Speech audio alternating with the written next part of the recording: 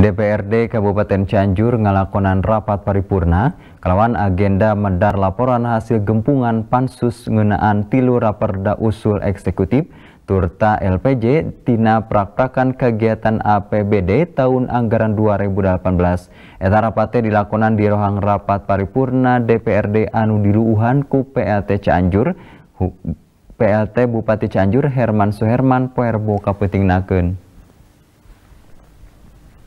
Sidang paripurna kelawan agenda mendar laporan pansus DPRD hasil padung dengan ngenaan tilu rancang peraturan daerah usul eksekutif turta laporan pertanggungjawaban pelaksanaan APBD tahun 2018 dipimpin ku Wakil Ketua DPRD Kabupaten Cianjur Deden Nasihin.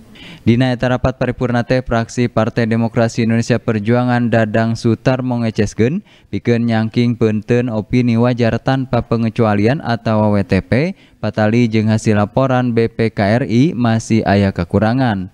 Eta sebera kekurangan teh diantarana ayana hal anu teka cumponan dina pengujian kepatuhan karena katangtuan perundang-undangan mangpirang pokok kelemahan dina sistem kadali intern katut koperasina nyata realisasi jeng dipake piken ngawangun sarana turta prasarana SMP prak-prakan ngokolakeun pajek daerah tacan nyukupan prak-prakan ngokolakeun aset anu tacan luyu karena katangtuan prak-prakan ngokolakeun kas anu oge teuntupan turta prak-prakan ngokolakeun pajak bumi dan bangunan anu tacan nyumponan katangtuan.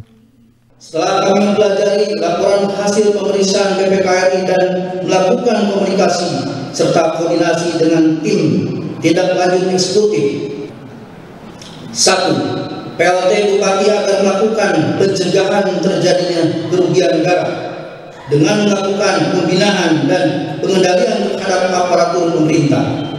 Dua, PLT Bupati harus bersikap tegas pada pimpinan perangkat kerja yang tidak melaksanakan rekomendasi temuan BPKRI dan memberikan sanksi kepada pimpinan perangkat daerah yang melakukan kesalahan berulang-ulang. Kukituna pihakna ngalakonan rekomendasi diantarana PAT Bupati bakal ngalakonan ketak pikeun nyinglar karugian negara ngaliwatan ketak pembinaan ke aparatur pemerintah jeung PAT Bupati kudu boga sikap anu tandes kapimpinan perangkat kerja anu teu ngalaksanakeun rekomendasi kana panimu BPKRI.